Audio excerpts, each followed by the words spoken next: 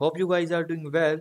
So from today we are going to start powerpoint video series. So in this video series we are going to learn that how you can design a presentation in powerpoint and how you can use ms powerpoint. So let's just so let's start. So first of all what you have to do you have to write you have to press the window r. After pressing the window r you have to write the power p and t here then press the enter. After pressing the enter you have to wait 50 seconds. You can download this from the official website of the microsoft. So what you have to do as you can see I have opened this PowerPoint. Now you have to click on the blank presentation. After clicking on the blank presentation, so let's have introduction of the PowerPoint. So what we have to do. So these are the tabs, home tab, insert tab, draw tab, design tab, transition tab, animation tab. These all are the tabs after that here's the option for the zoom in or zoom out the transition uh, we can zoom in zoom out the slides from here.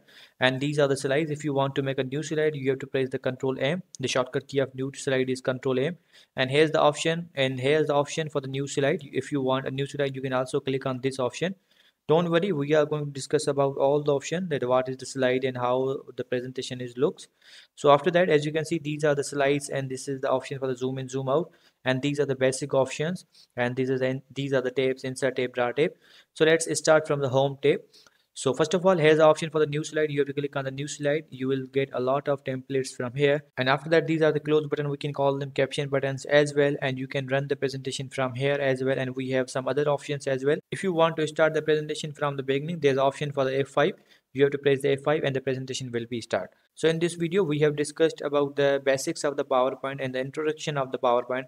From the next class we will start the video series. So i hope you guys understand this video. So see you guys in the next video